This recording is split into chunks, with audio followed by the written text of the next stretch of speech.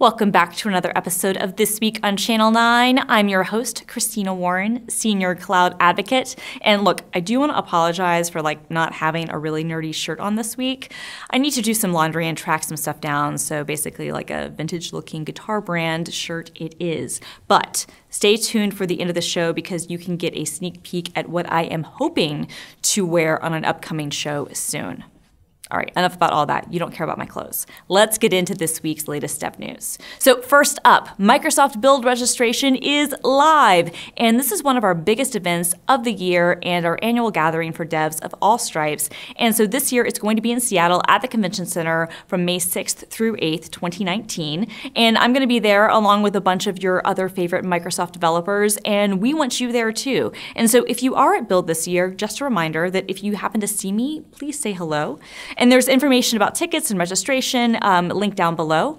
And in other event news, this is just a reminder that Microsoft Ignite, the tour, is still underway. And so our next stop is actually going to be in Amsterdam, and I will be there along with a few members of the Channel 9 family. So if you see us again, please say hello, because we love to say hello. Details on the other cities that the tour is coming to, as well as the types of sessions and speakers, are in the show notes in the description down below. Now, we gotta talk about HoloLens 2. So it was announced at Mobile World Congress in Barcelona last weekend, and it's available for pre-order now. And basically, HoloLens 2 is the next generation of Microsoft's wearable holographic computer, and it's focused on helping businesses get things done thanks to having out-of-the-box apps that work with its various sensors and that take advantage of greater field of view.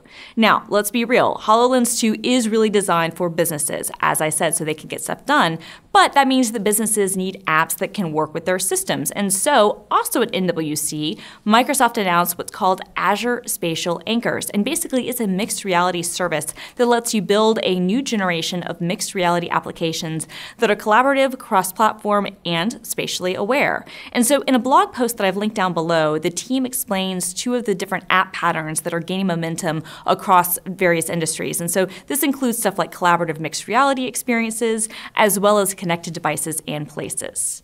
And if all that wasn't enough, uh, there is also a new thing called a new, a new Kinect, basically, or to be more precise, the Azure Kinect DK. So that is Developer Kit. And so this Azure Kinect DK is a PC peripheral that has advanced artificial intelligence sensors for sophisticated computer vision and speech models. And it basically combines a best in class depth sensor with a spatial microphone array and a video camera and orientation sensor. And it's all in like one small device, and then it's got multiple modes and lots of options and SDKs. And like, I totally don't need one of these, but I want one so badly. And like, the cool thing is, is that you can use the Azure Kinect uh, DK if you're building out whatever kind of AI stuff you're interested in. So it's awesome.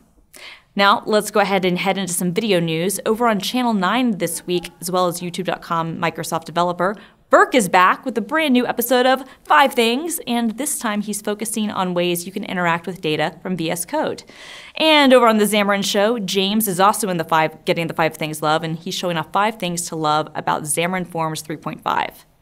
And over on .NET, Scott and Olia are showing off how to port desktop apps to .NET Core 3.0. And speaking of .NET, there is an update to how C-sharp versions are treated in .NET tooling. And so starting with Visual Studio 2019 Preview 4, and we'll talk more about that a little bit later, um, there's some changes. So links to all these videos are in the show notes and the description down below. And over on Medium this week, my friend and fellow CA Suz Hinton, aka noopkat, wrote about her totally awesome Twitch live coding setup. And so Suz live codes on Twitch every Sunday morning, and you should definitely tune in and watch what she does because her stream is awesome. But the post is a really great guide to how she sets up her stream. And Suz, honestly, like you're my hero. Love you. In some Visual Studio 2019 for PC news, the RC or release candidate is out now. And so the launch is about a month away, but if you're interested in checking out what's new, check out that RC. And speaking of Visual Studio 2019, there's a great blog post on the Visual Studio blog about how you can use your favorite extensions with the upcoming release. And there's also some information on how you can update your extensions if they're not working already for Visual Studio 2019. And speaking of extensions, the latest version of GitHub for Visual Studio is out now, and it's version 2.8.0, and it shows um, it has some new features, including showing more details and pull requests that show stuff like conversations and status circles. And in some Visual Studio 2019 for Mac News, there's a great blog post up with some feedback that the team has been receiving from users so far and how they're dealing with that. All right, rounding out our news this week, there are a couple of Azure Functions updates. So first, there are some improvements to TypeScript support in Azure Functions, and so this includes templates, type definitions, and NPM scripts. And in news that will make Bruno Borges very happy, Java support for Azure Functions is now in general availability. All right, now it's time for my pick of the week. So Clothing brand Goodhood in London is doing a collab with another London shop called Unified Goods. And basically, they're creating a limited collab of vintage tech clothing items that they're dubbing software, which cute, right?